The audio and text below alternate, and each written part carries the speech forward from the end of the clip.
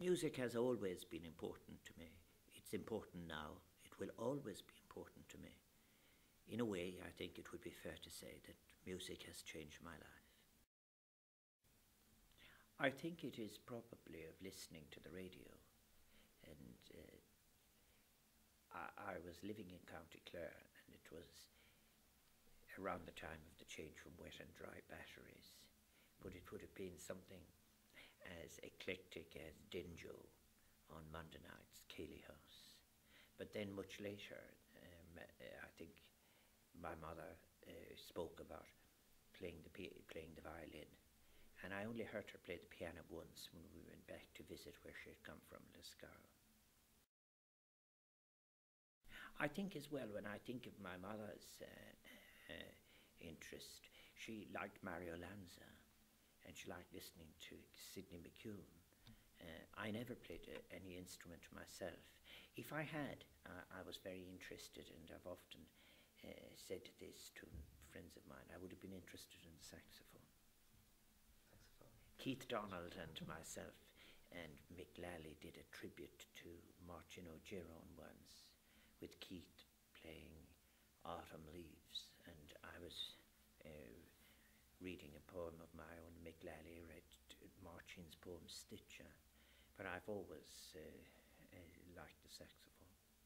At the moment, you, I think one's, one's taste changes, one's ear changes too. Uh, but I probably at this stage uh, have gone on to listening to cello music.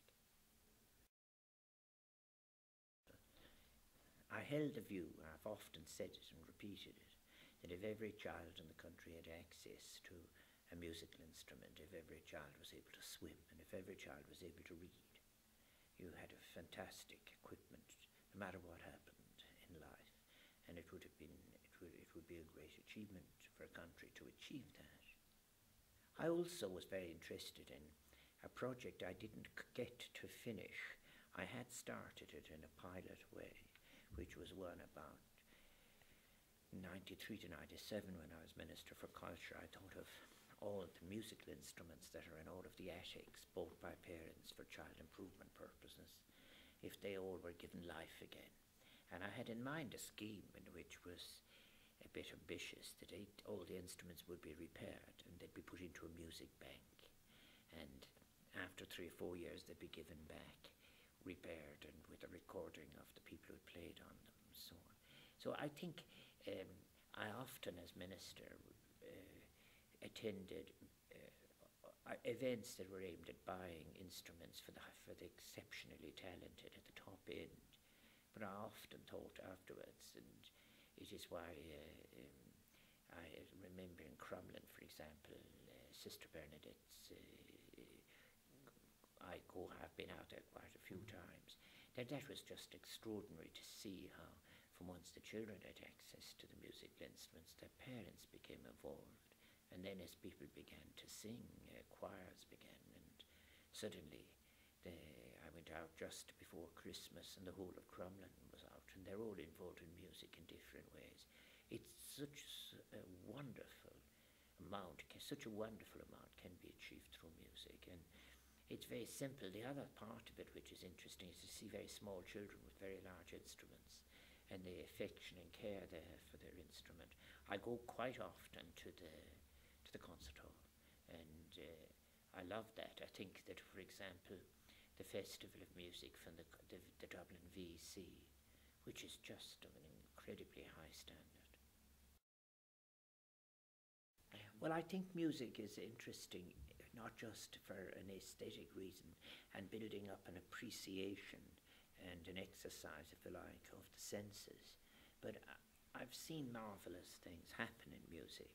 Uh, Georgi Lozanov's theories, for example, in, in Central Europe, uh, have been applied in education, where people, uh, you know, in the school, you, you play music at the very beginning, so as to get everyone settled into a receptive frame. And then you play music again at the end of the evening. These techniques have been transported by other people for practical purposes like accelerated learning of languages and so forth.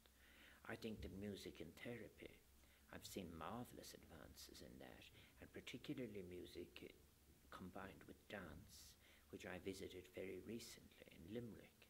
Uh, it was a great use, a fantastic use. The other side of it is a simple one uh, for parents and intergenerational relationships.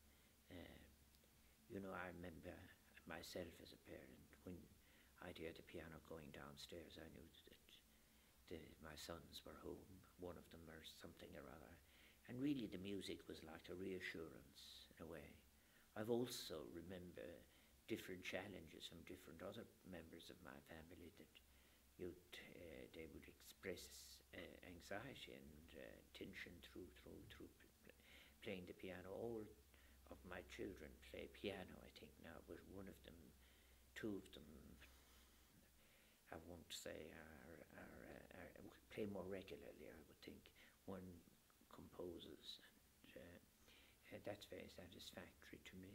Uh, I think that there are other lovely instruments that I don't hear so often, but uh, I like. Uh, the, last night at the Art Music of My Life, I was at I was at um, Vicar Street listening to Martin Hayes and others and so on. And Martin Hayes, of course, is a genius, but that goes without saying. And uh, wins that beautiful combination of talent. Personally? Okay. Music has uh, uh, music. Different music has appealed to me at different times of my life.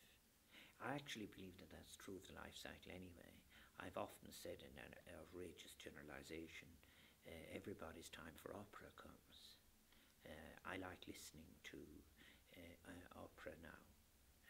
I've always, I've liked, uh, I've made my way through opera for a long time since uh, Gigli and Jussi Björling and on through the Pavarottis to the present time. So that's what I really like. I like the, the, to, to hear the, the extraordinary full sound of the of, of, of the of the tenor's voice mostly. Although I, I suppose one's admiration is for the baritone. Anyone whose own voice is near tenor actually secretly envi- en- envies baritone. Well, of course, I'm quite famous for having gone to the Rolling Stones con- uh, concert and all of those in my black silk shirt and. Uh, in, uh, I've, I've, in fact, Henry Mount Charles saved from the fire at Slane Castle a photograph of myself standing there in sandals with my black silk shirt open the whole way and the uh, and uh, enjoying it. I loved those out- outings. They were great those early days at the concerts. Um, I'm sorry I missed Leonard Cohen the last visit. I mean, I'm told it was extraordinary the one in, in Sligo. But I have been to Electric Picnic, of course, and I enjoyed that. I really liked that because of fact that it was such an inclusive event in all ages and all the other things. I actually read poems with Poetry Ireland there, and also I spoke about uh, the Rio Conference on the environment. It's some really, the really uh, people who know what the world is about actually are at Electric Picnic. So I've been at, uh, yes, I would go to concerts, yeah. Uh, Some I enjoyed more than others. I actually enjoyed the, that one that uh, that that uh, people talked about. I was writing, just be, I wrote for Hot Press from 1982 to 1992. But I actually probably en- enjoyed the ones when I was out in the crowd myself, and there was a bit of space more than I uh, than the times when I was backstage with uh, an accessible uh, uh, stages uh, pass. But you see, then, and I, I've uh, when those of us who were involved with Hot Press for a while, from uh, when I was writing for Hot Press, it was in Bill Graham's time and through Declan Lynch and on we go. Uh, it was really a marvellous group of people. Hot Press have been very, very good to young musicians too. Uh, there are people as well whose friendships I value are involved in music, uh, like Limo Moyne Lee, and um, then people know that uh, I know Leo and, and the Saw Doctors, but I recorded then with uh, with the Stunning, with Joan and Steve, uh, in the Tyvert in Galway. Their very last CD has the Stunning, has one of my poems, The Mountain. I recorded two poems with them on uh, uh, and with the, the the mountain is the one we used.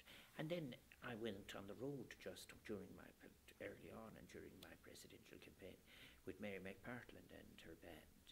Uh, I did four gigs. Um, uh, one in Letterkenny, one in Manorhamilton, one in Bray, and one down in Waterville.